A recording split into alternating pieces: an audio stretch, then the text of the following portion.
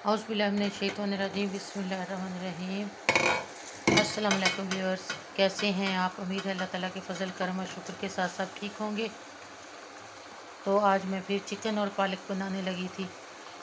मैं पालक के जो बेबी लीफ होते हैं, वो वो लेके आई थी और चिकन लेके आई थी, क्योंकि आखिर जुमेरात का दिन है। तो हमने फिर आज जुमेरात के दिन हम ख़त्म दिलवाते हैं तो उसके लिए हम फिर चिकन और पालक बना रहे थे। मैंने कहा ये वीडियो आपके साथ में शेयर कर लेती हूँ। ये हमारी हर थर्सडे को या डेली रूटीन में शामिल हो जाती है कि हम जैसे खाना बनाते हैं। पहले मैंने देसी घी इसमें डाला था तो उसके बाद मैंने दो प्याज डाल दिए इसमें। जब वो ब्राउन हो गया तो गार्लिक डाल दिया और अदरक का पेस्ट जो मैंने पहले ही पीस के रख लिया था। तो उसके बाद फिर मैंने दो टमाटर डाल दिए और चिकन को अच्छी तरह वॉश करने के बाद इसमें डाल दिया। तो ये देखिए भी, माशाल्लाह मेरा चिकन बहुत अच्छा बन रहा है। जी, अभी भूनने के लिए तैयार है। जब इसका पानी अच्छी तरह खुशक हो जाएगा तो मैं फिर इसको भून लूँगी।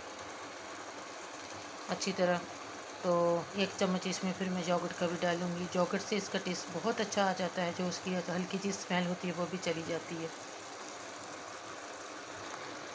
ये देखिए व्यूअर्स इधर मैंने स्पिनिच अच्छी तरह बॉईल करने के लिए रख दी थी। ये देखिए दूर से थोड़ा दिखाती हूँ। पास से बहुत स्टीम आ रही है तो नज़र भी नहीं आ रहा।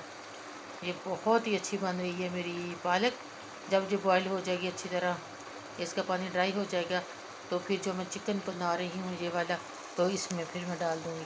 अभी दो मिनट में दोबारा आपको मैं फिर ये शो कराती हूँ।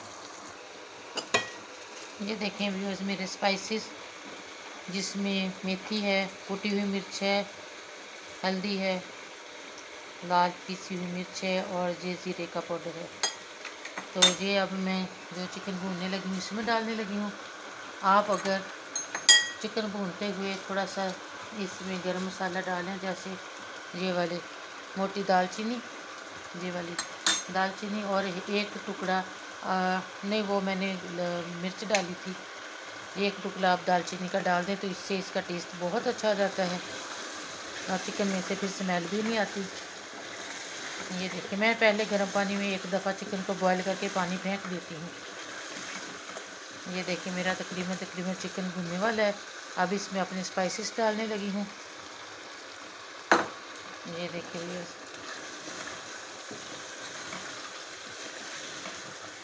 जैसे ही मैं अपने स्पाइसेस मैंने इसमें डाले, अब दो मिनट इसको भूनूँगी।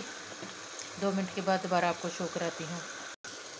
ये देखें व्यूअर्स इसने अब घी छोड़ दिया है। ये मैं देसी घी में मैंने बनाया, ये बहुत ही अच्छा लुक दे रहा है।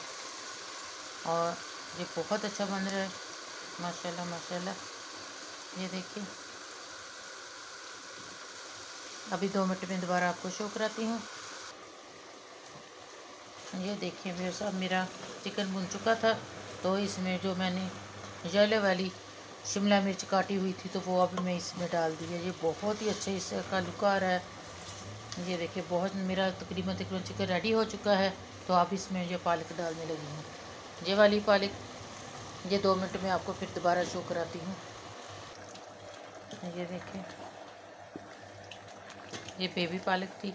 अब मैंने चिकन पालक बनाना था जुमेरात पे तो हमने न्याज दिलवानी थी।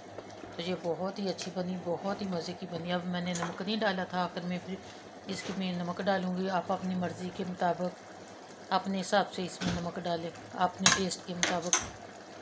तो मैंने अब इसमें हल्का सा नमक डाल दिया अपने टेस्ट के मुताबिक। ये देखिए, माशाल्लाह, बहुत ही अच्छी, बहुत ही नाइस बनी है। ये देखिए। मैं आप इसको नान के साथ, चावल के साथ खा सकते हैं, लेकिन मैं इसके साथ और रुमाली रोटी होती है जो बहुत पतली रोटी होती है। पाकिस्तानी ज़बान में उसको मंडे बोलते हैं तो उसके साथ सर्व करूँगी। तो ये मेरा अभी रेडी हो चुका है। आप बताना आपको ये मेरा कैसा लगा। अगर पसंद आए तो दोस्तों के साथ साथ फैमिली मेंबर के साथ इसको शेयर करना मेरा चिकन पालक। और दुआओं में मुझे याद रखना, मैं भी अपने सब सब्सक्राइबर और व्यूज़ को हमेशा अपनी दुआओं में याद रखती जहाँ रहें, खुश रहें बाद रहें। प्लीज़ मेरे यूट्यूब चैनल को ज़रूर सब्सक्राइब कर दें। थैंक यू तो इस दुआ के साथ जहाँ रहें, खुश रहें, आखिर में वही बात किसी का अच्छा नहीं करते तो पूरा भी मत सोचिए। अल्लाह हाफिज़।